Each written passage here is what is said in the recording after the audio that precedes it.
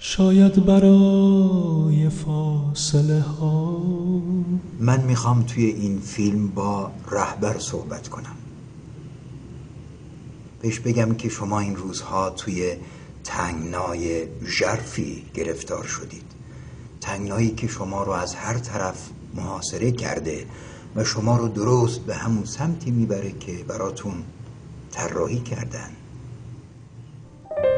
یادتونه در سالهای دور همون اوایل انقلاب در ایام جنگ تو چمدون حجاجی که می‌رفتن مکه مدینه اسلحه گذاشتید تی ان تی گذاشتید تا شیعیان عربستان سعودی رو مسلح کنید و اونا رو بندازید به جون وحابی ها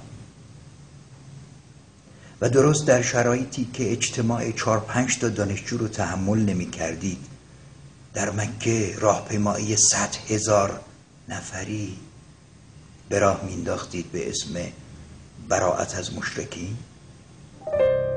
این شما بودید که سیاست تنز شیعه گستری رو سامان دادید و باعث ظهور طالبان القاعده و داعش شدید. پیش از ظهور انقلاب اسلامی مگه از این خبرها بود؟ شیعه گستری شیعه گستری شیعه گستری.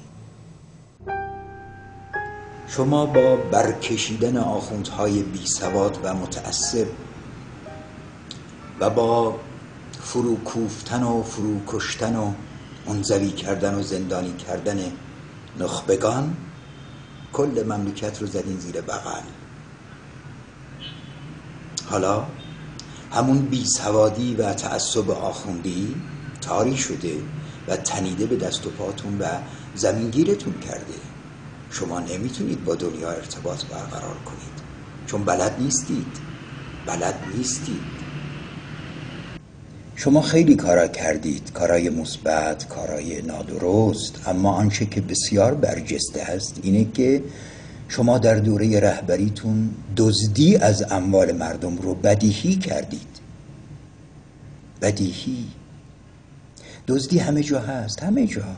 اما نه در ارقام نجومی و نه به دست دولت مردان و به دست اهالی بیت رهبری. امروز شما در محاصره دنیای زیرکی قرار گرفتید. دنیای زیرکی که تا تونست رقمهای درشت و کلان رو از این مملکت برداشت و برد با امضای شما. و شما رو با ورشکستگی بزرگ به جای نهاد. شما امروز ورشکسته شدید آقا. نه شما. که اندیشه شما فکر شما. منتها این شکست نه از کیسه شما که از کیسه مردم رفته. مردم؟ از جیب مردم. شما شخص شما خیلی مشتاق بودید یه چیزی از خودتون به یادگار بگذارید. چشمگیر یه چیزی که توی تاریخ بمونه با اسم شما. زیرکترها این خصلت شما رو شناسایی کردند و ساخت بمب اتم رو پیش روی شما گذاشتند. چه چیزی جاودانه تر از اتمی کردن ایران با نام سید علی خامنی به شما رو فریفتند. و شما وارد جریانی شدید که بتونید بمب اتم بسازید. و شما به همین راحتی فریب خوردید آقا. و وارد یک قمار بزرگی شدید که انتهاش از همون ابتدا معلوم بود. بله شما رو فریفتند. با ساخت بمب اتم. شما با دارایی مردم قمار کردید. شما رو گول زدن آقا. چجوری میگم؟ یه چند تا انفجار اتمی نشون شما دادن. با یه مش آهنالات آوردن ریختن پیش پای شما. که شما رو اتمی می‌کنیم. و سالهای سال با امضای شما با امضای شخص شما دارایی های نقد ما رو جارو کردن و بردن و سراخر خودشون به پر و پای شما پیچیدن و بساط شما رو برملا کردن. شما این قمار رو باختید آقا. باختید. حالا همون عربستان سعودی که من زیرکی حاکمانش رو صد مطابق شما می‌دونم پیچیده به پر و پاتون. با تولید بیشتر نفت داره جواب اون راهپیمایی های صد هزار نفری براعت از مشرکین و مرگ بر آل سعود و تبت یدا ابی لهب بریده با دست فهد و داره پاسخ میده. نفت رو رسونده به زیر پنجاه دلار. نفتی که شست دلار. هزینه استخراجشه؟ پنجاه دلار. زیر پنجاه دلار. این زیرکی. و شما مجبوری صد تومن هزینه کنید که چرخ استخراج نفتتون بچرخه و پنجاه تومن بفروشید. من نمی‌خوام فقط از تلخی ها بگم و کام شما رو تلخ کنم. این تلخی ها سال هاست که با سرانگشتان مبارک شما به کام مردم ریخته میشه. می‌خوام کام شما رو شیرین کنم. اون تا یه مقدار همت می‌خواد. مگر نمی‌خواستید اسم شما جاودانه بشه؟ من اسم شما رو جاودانه می‌کنم. باور کنید. شما این روزا در بحرانی ترین وضعیت ممکن قرار دارید. می‌تونید همینجور به همین وضعیت ادامه بدید و از صفحه روزگار محو بشید. و البته می‌تونید بدرخشید. می‌تونید مجددا زندگی رو به این مردم برگردونید.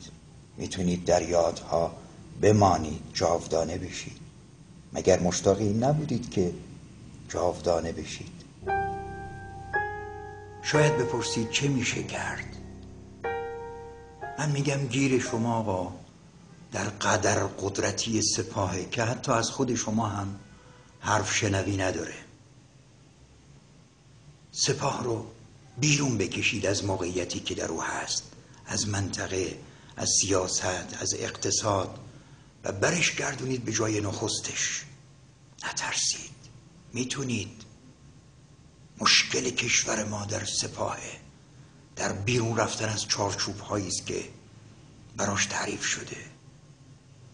سپاه مشکل کشور ماست مشکل منطقه است مشکل شماست. و شما می‌تونید این مشکل رو حل کنید.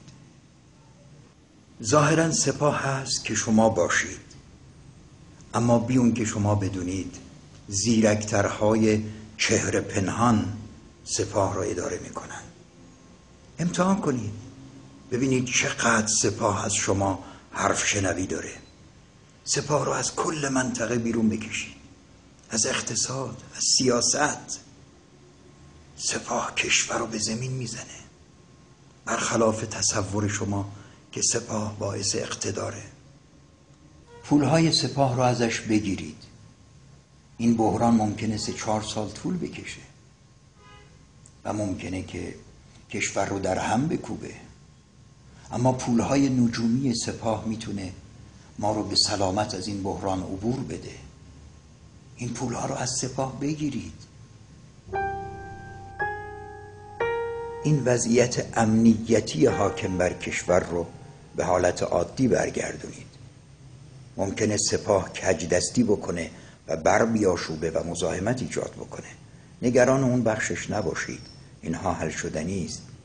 مهم اینه که به دنیا نشون بدید که شما به انسانیت و حقوق انسانی فراتر از تشیع و اسلام و نوع نگرش خاص جمهوری اسلامی بها می‌دید. مشکل ما همیناست. نخبه ها رو از انزوا به در بیارید و با یک پوزش خواهی ملی رشته کارها رو به دست اونها بسپرید. نگران اسلام و قرآن نباشید. اگه قرار خدا حافظ قرآن و دینش باشه نیازی به حیاهوی ما نیست. آخوندها رو برگردونید به جایی که متعلق به اون هستند. آخوندهای ما در جاهایی هستند که به اونها تعلق نداره. به دنیا نشون بدید که اهل صلح و آشتی و برکشیدن حقوق انسانی هستید. دنیا سخن صادقانه رو خیلی زودتر باور می‌کنه تا سخنان آلوده به دروغ و ریا. نشون بدید که اهل صلح و آشتی هستید. با مردم خودتون شروع کنید و بعد پای به منطقه بگذارید. بشید سفیر صلح سفیر آشتی. این شما رو جاودانه می‌کنه. در داخل یک رفراندوم برگزار بکنید. بذارید مردم خودشون تصمیم بگیرن که خدا رو بخوان یا نخوان.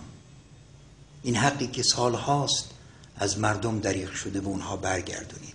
اطمینان دارم خود خدا به این حق خوری اسلامی راضی نیست. بذارید مردم نفس بکشن بدرخشن. و اینم بدونید که در این سالها شما برای اینکه آخوند به درخش خیلی ها رو از درخشیدن باز داشتید. بذارید مردم نفس بکشند. نفس. نفس. شما اگه به مردم ایران رو بیارید مردم دنیا شما رو باور خواهند کرد. مطمئن باشید. شما مردم رو از دست دادید. به این حیاهوهای اطرافتون دل نبندید. مردم که فقط اونا نیستن. بخش وسیعی از مردم در تنگنا هستند. اونا رو دریابید. اگر می‌خواید جاودانه بمانید.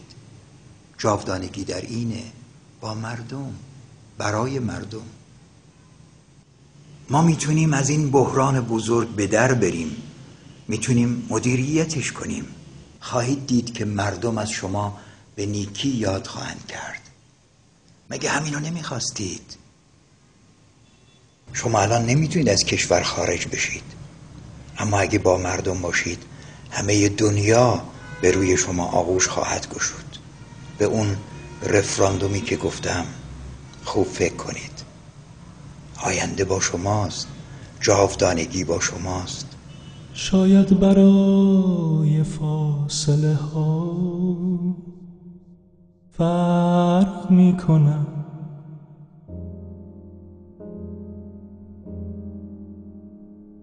نزدیک و دور